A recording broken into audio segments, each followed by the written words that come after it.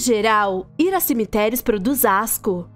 Não são apenas um pouco sinistro, mas também tendem a evocar tragédia ou perda. Mas no meu caso, foi um local de reencontro e boas lembranças, até o que aconteceu comigo alguns meses atrás. Quando eu era pequena, eu tinha uma irmã mais velha e me dava muito bem com ela. Nós sempre brincávamos juntas e contávamos tudo uma outra. É por isso que foi tão traumático quando a perdi. De repente, ela contraiu uma doença grave que não conseguiu curar. Foi questão de semanas. Eu não só tinha perdido minha meia irmã, mas também minha melhor amiga. E tive que começar uma nova vida no meio da minha infância. Me custou, mas consegui seguir adiante, mantendo a memória dela. Eu costumava visitar seu túmulo com frequência, limpá-lo e trazer flores para ela. Contava a ela como estava, coisas que nem contava para nossa mãe.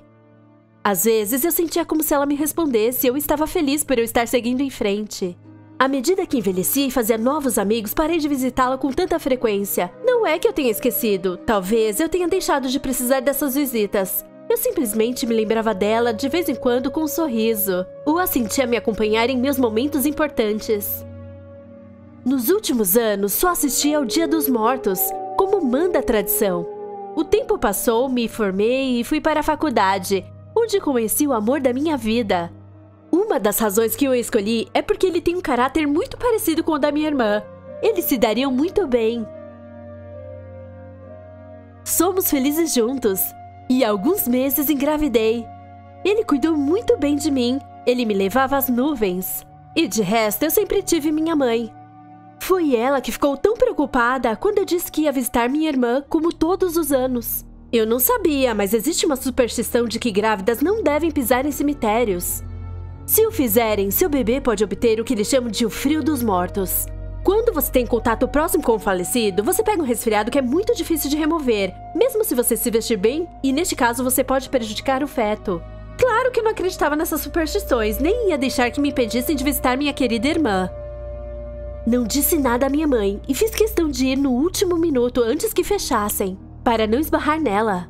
E lá fiquei sentada por um longo tempo, contando como estava ansiosa pelo meu primeiro filho. Fiquei tão animada que o tempo passou rápido para mim, e antes que eu percebesse já estava escuro. Corri para a entrada, mas o portão já estava fechado. Obviamente, no meu estado, eu não podia tentar escalar. Então fui dando voltas procurando o gerente, enquanto tudo ficava mais sinistro e eu ficava cada vez mais nervosa. Comecei a me sentir mal, senti um frio que me penetrou até os ossos, embora estivesse bem vestida.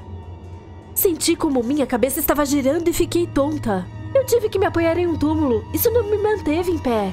Meu Deus, seria verdade o frio dos mortos. Eu tinha que sair de lá.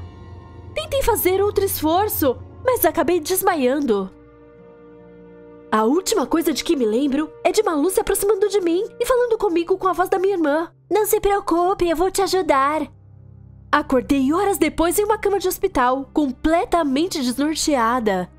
O médico me explicou que eu não deveria ter ido lá no meu estado, mas não pelo que a superstição dizia. A umidade das sepulturas e as flores murchas fazem com que os mosquitos abundem em lugares como este. Um deles me picou e me deu uma infecção estranha que me deixou subitamente hipotérmica. Poderia ter sido fatal para minha gravidez, mas felizmente o gerente me encontrou a tempo e me levou ao hospital. Ele disse que me encontrou graças à luz que eu carregava. Embora não me lembre de pegar meu telefone para me iluminar, eu quero pensar que era outra coisa. Havia outra pessoa lá que estava cuidando de nós. Obrigada, irmãzinha. Não se esqueça de se inscrever e deixar o seu like se você curtiu. Até o próximo vídeo!